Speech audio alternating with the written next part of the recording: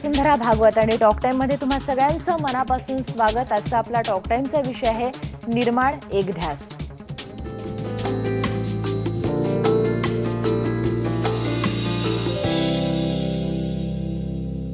आज बारा जानेवारी स्वामी विवेकानंदांची जयंती आणि हा दिवस राष्ट्रीय युवा दिन म्हणून साजरा केला जातो आणि त्यामुळे टॉकटाईममध्ये आज आपण भेटणार आहोत निर्माण संस्थेचे समन्वयक मुंबईचे कोऑर्डिनेटर जयप्रद देसाई यांना.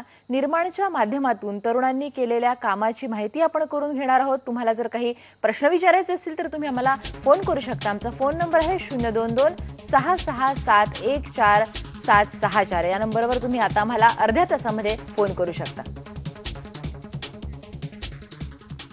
आणि जयप्रद देसाई जे निर्माणचे समन्वयक आहे मुंबईचे कोऑर्डिनेटर आहे आणि याशिवाय फिल्म मेकर सुद्धा आहे. निर्माणावर त्यांनी एक डॉक्युमेंटरी बनवलेली आहे. त्यांच्याशी आपण बोलूया. जयप्रत तुमचं स्वागत आहे बीएन लोकमतमध्ये मनापासून. निर्माण ही जी एक मुवमेंट आहे ही चळवळ डॉक्टर राणी बंग आणि डॉक्टर अभय बंग यांनी यांच्या मूळ संकल्पनेतून साकारलेली आणि ज्याचं ब्रीद वाक्य आहे की युवांच्या अर्थपूर्ण जीवनाचा शोध. खूपच सुंदर ब्रीद वाक्य आहे की अर्थपूर्ण जीवनाचा शोध. नेमकी काय संकल्पना आहे निर्माणची? काय ही चळवळ आहे? आज जर आपण आपल्या आजूबाजूला पाहिलं तर आजच्या तरुण पिढीमध्ये कॉम्पिटिशनसाठी एक जीवघेणी शर्यत चालली आहे. आणि ही कॉम्पिटिशन कशासाठी?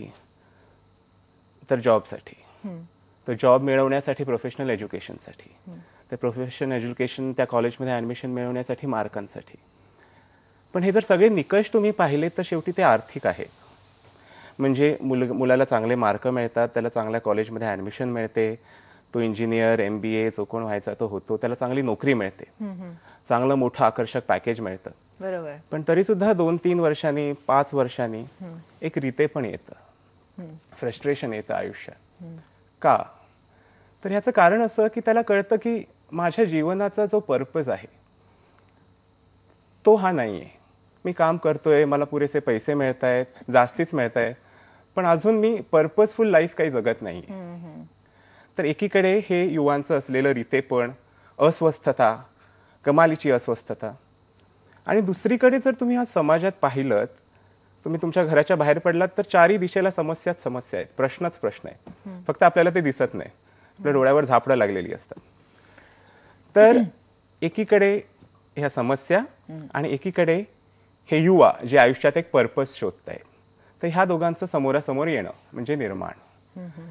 युवांना ह्या समाजात राहून त्यांना कळतं की कदाचित जो पर्पज माझ्या आयुष्यामध्ये मिसिंग आहे तो इथेच कुठेतरी आहे.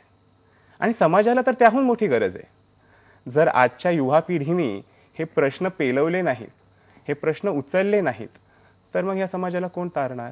खरं तर ह्या सर्वांसाठी म्हणून डॉक्टर अभय बंग आणि डॉक्टर राणी बंग यांच्या कन्सेप्शनमधनं ह्या प्रोसेसचा जन्म झाला त्याचं नाव निर्माण. आता निर्माण ही संक संकल्पना तर खूपच सुंदर आहे की सामाजिक समस्या सोडवण्याचा प्रयत्न करणे. त्या सोडवता सोडवता युवकांना स्वतःची अभिव्यक्ती किंवा स्वतःच्या जीवनाचा उद्देश सुद्धा मिळवायला सापडायला मदत करणे. पण नेमकी ही संकल्पना जी आहे ही कशा पद्धतीने राबवली जाते? म्हणजे काय करता नेमकं तुम्ही निर्माणाच्या माध्यमातून? सुरुवात शिबिरांनी होते. स्प्रेड ओव्हर टू इयर्स दोन वर्षात चार शिबिरं असतात सहा सहा महिन्यांनी आठ ते दहा दिवसांची. ज्यामध्ये जी जी शिबिरं तुम्ही तुमचं कॉलेज शिक्षण नोकरी सांभाळून करू शकतात. म्हणजे हा काही फुल टाइम अभ्यासक्रम नाहीये. पण तो एक अभ्यासक्रम आहे. तर ह्या आठ दिवसाच्या एक शिबिरांमध्ये वर्कशॉप असतो असं आपण म्हणूया का. म्हणजे सहा महिन्यातून एकदा हा वर्कशॉप घेतला जातो. कुठे घेतला जातो हा? शोधग्रामच्या कॅम्पसमध्ये गडचिरोलीला घेतला जातो. आणि ह्या प्रत्येक शिबिराचं एक एक करिक्युलम असतं. की फॉर एक्झाम्पल पहिल्या शिबिरामध्ये स्वतःला समजून घेणं. स्वतःला शारीरिक लेव्हलवर मानसिक लेव्हलवर इमोशनल लेव्हलवर स्वतःला समजणं. कारण जर तुम्हाला तुमच्या आयुष्याचं पर्पज शोधायचं आहे तर आधी स्वतःला शोधलं पाहिजे. बरोबर. तर स्वतःला समजणं. मग मी समाज सृष्टी ह्यांना समजणं. आणि मग ह्या समाजाकडे माझं कर्तव्य काय? तर हे ह्या चार शिबिरांमध्ये शिकवलं जातं. क्लासरूम इंटरॅक्शन होतं. कोण येतं? तर ह्या सामाजिक क्षेत्रात ऑलरेडी जे काम करतायत असे काही हिरोज आहेत. ज्यांनी खऱ्याच काही समस्या उचलल्या. त्याच्याशी ते काही झगडले. सक्सेसफुल झाले. तर ह्या वयामध्ये ह्या युवा पिढीला एका हिरोची गरज असते. तर हे रोल मॉडेल्स त्यांना सापडतात. त्यांच्याशी ते इंटरॅक्ट करतात. त्यांचं ऐकतात. त्यांच्याकडनं शिकतात. काही उदाहरण देऊ शकाल की आतापर्यंतच्या शिबिरांमध्ये कोण कोण लोक येऊन गेलेले आहेत? जसं अनिल अवचट येऊन गेलेले आहेत. किंवा आता ह्या शिबिरामध्ये एक ताजं एक्झाम्पल द्यायचं झालं तर अण्णा हजारे येणार आहेत. आमचं तिसऱ्या बॅचचं शिबिर सुरू होतंय सव्वीस तारखेपासून. तर अण्णा हजारे येणार आहेत. तर आणि काम करून बघणं कारण शेवटी निर्माणचा जो प्रोसेस आहे ना तो बिलीव्ह करतो की नुसतं वर्गात राहून शिकता येत नाही. जे आपण शाळा कॉलेजात करतो फॉर्मल एज्युकेशनच्या जी काही पद्धती आहेत education cannot be obtained in the confinement of a classroom. अगदी म्हणजे खूप महत्वाची गोष्ट आहे. विचार तर खूप महत्त्वाचा आहेच आयुष्यामध्ये प्रश्नच नाही. पण कृती ही अधिक महत्वाची आहे. आणि ही हे कृतीचं काम कृती घडवून आणण्याचं काम निर्माण करत असते. आपण बोलूया. आणखी काय स्वरूप आहे? पण एक फोन आलेला आहे. राहुल गुळवे सोलापूरहून बोलतायत. राहुल प्रश्न विचारा तुमचा. राहुल गुळवे बोलतायत सोलापूरहून. राहुल तुमचा प्रश्न विचारा.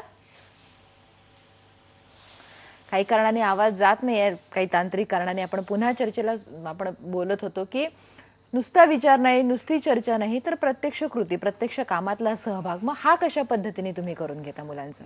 फॉर एक्झाम्पल दोन शिबिरांमध्ये जो काळ असतो सहा महिने मिळतात. तुम्ही जिथे आहात तिथे तुमच्या आजूबाजूचा जो समाज आहे त्या त्या- त्याच्यातली एक समस्या निवडा एक प्रश्न निवडा. ज्याबद्दल तुम्हाला खास जिव्हाळा वाटतो. म्हणजे जर महानगरात तुम्ही राहत असाल तर झोपडपट्टी आणि त्यांचे प्रश्न. हा. एक हा एक मुद्दा असू शकतो. बरं मी परत सांगतो की ह्या सहा महिन्यात काही तुमचे प्रश्न सुटणार नाहीत. समस्या सुटणार नाही. बरं प्रश्न आपल्याला आवडेल तो म्हणजे ज्या समजा एखादा तरुण आहे त्याला असं वाटलं की आपण शहरातल्या पाण्याच्या प्रश्नावर काम करावं लोकांमध्ये पाण्याविषयक पाणीविषयक अवेअरनेस निर्माण करावा तो कुठलाही तो निवडण्याचं स्वातंत्र्य त्याला आहे. अगदी अगदी. कुठलाही प्रश्न असू शकतो तो समजून घ्या आधी. प्रश्न समजून घ्या. त्याचे सगळे डायमेन्शन समजून घ्या. आपण काय होतं फार घाई करतो रिॲक्ट करायला.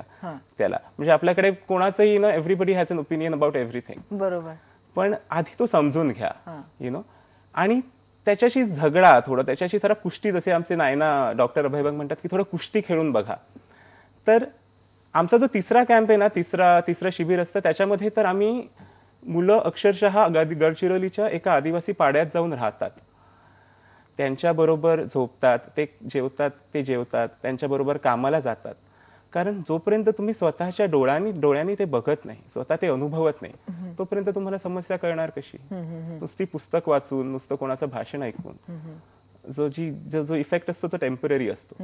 अगदी म्हणजे मी थोडस तुम्हाला इंटरप्ट करते. मला आता तुम्ही अनिल अवचटांचे नाव घेतलं आणि हे जे बोलतात. अनिल अवचटांना एकाने प्रश्न विचारलेला की तुमचं जे लिखाण आहे इतकं जिवंत कसं होतं? की म्हणजे जो वाचक आहे वाचणारा आणि ते लिखाण यामध्ये भेदच राहत नाही असं वाटतं आपणच ते जसं त्यांनी सफाई कामगारांवर लिहिलं होतं तर त्यांनी लिहिलं की त्यांनी सांगितलं की मी मूर्तिजापूरला सफाई कामगारांच्या वस्तीमध्ये राहिलो जाऊन ती सगळी कामं केली त्यांच्यासारखं जेवलो त्यांच्यातलंच ऐकून राहिलं. त्याच्यानंतर मला त्यांचं जीवन काय त्यांच्या प्रथा परंपरा चालीरीती किंवा समस्या आहे हे मला कळलं आणि त्याच्यामुळे ते लिखाण जिवंत होऊ शकलं. तर ही निर्माणचं खूपच महत्वाची गोष्ट आहे की स्वतः तुम्ही त्यातला एक भाग होऊन राहा म्हणजे आदिवासींच्या. एक एक जुनी चायनीज तुम्ही म्हणालात म्हणून सांगतो एक जुनी चायनीज कविता आहे हा की ज्याचं इंग्लिश ट्रान्सलेशन असं आहे की go to the people live with them love them learn from them start from where they are work with them build on what they have. For the best leaders, when the task is accomplished, the people will remark, but we did it ourselves. तर त्याच्यामुळे निश्चितच. आणि मग तुम्ही सांगितलं की participate करायचं. या व्यतिरिक्त आणखी कशा पद्मी शिबिराचं स्वरूप काय असतं? शिबिर शिबिर ही चार चार झाली. शिबिर दोन वर्षाच्या शेवटी. तुम्हाला कुठेतरी स्वतःची ओळख पटली. मी कोण आहे? मग आता करायचं काय? तर मग ह्यात एक फेलोशिपचा कन्सेप्ट आलाय. त्या फेलोशिपच्या कन्सेप्टबद्दल बोलू पण पुन्हा एक फोन आलेला आहे. राजू बालकुडतेवार वाशिमहून आपल्याशी बोलतायत. राजू प्रश्न विचारा तुमचा. हा हे सर मी सध्या बारावीमध्ये शिकत आहे. बरं. हा तर मला निर्माण संस्थे समजा निर्माण सोबत जर समजा पुढे चालून काम करायचं असेल तर काय काय हे होईल तुमच्याकडून? तुमचं वय काय? माझं सध्या अठरा आहे. अठरा. वा. छान. निर्माण हा जो प्रोसेस आहे तो मुळात अठरा ते पंचवीस या वयोगटाला टार्गेट करतो. तर सगळ्यात पहिलं म्हणजे आमच्या कॅम्पसाठी तुम्ही अप्लाय करा. आत्ता तिसरा तिसरी बॅच सुरू होते ज्याचे ऍप्लिकेशन्स आता पूर्ण झाले म्हणजे निवड प्रक्रिया पूर्ण झाली आहे पण अप्लिकेशन कुठे मिळतील? ऑनलाईन आमच्या वेबसाईटवर मिळतील. Nirman dot M K C L dot O R G ही आमची तुम्ही देऊ शकता का तुमच्या नाही ती आपण दाखवतोय ऑलरेडी वेबसाईट सतत. ती फायर होते. ओके ऑन एअर आहे. त्याच्यामुळे ती ती लिहून घेऊ शकतील हा. ओके ह्याच्याशिवाय आम्ही आम्हाला कळलं ह्या निवड प्रक्रियेनंतर की कदाचित हे जे दोन वर्षातनं एकदा निवड प्रक्रिया होते त्यामध्ये आम्ही आमच्या गडचिरोलीला आमच्या इन्फ्रास्ट्रक्चरमध्ये पन्नास साठ सत्तर मुलं फार तर सामावून घेऊ शकतो. तर मग ऍप्लिकेशन्स किंवा इंटरेस्टेड कॅन्डिडेट्स यापेक्षा खूप मोठ खूप जास्ती आहेत.